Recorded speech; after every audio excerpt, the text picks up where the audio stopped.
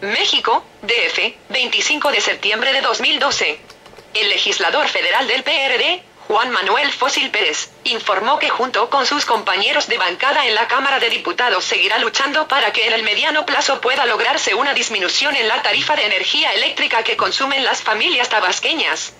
Adelantó que también cerraremos filas con las gestiones que en este tema realice nuestro gobernador Arturo Núñez Jiménez, para que la federación finalmente baje las tarifas eléctricas y las familias tabasqueñas ya no sufran por el acoso de la Comisión Federal de Electricidad y sus trabajadores que siguen cortando arbitrariamente la luz.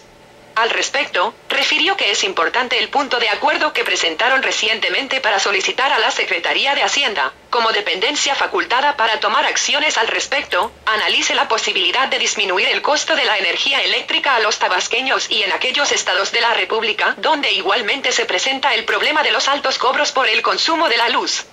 Las tarifas de este país son más caras que los países desarrollados donde la gente tiene ingresos mucho más altos. Por eso no es compatible que estemos pagando la luz tan caro, cuando tenemos tantas plantas de energía baratas. Las presas, tenemos que ver que la generación de energía sea más barata para el pueblo, argumentó.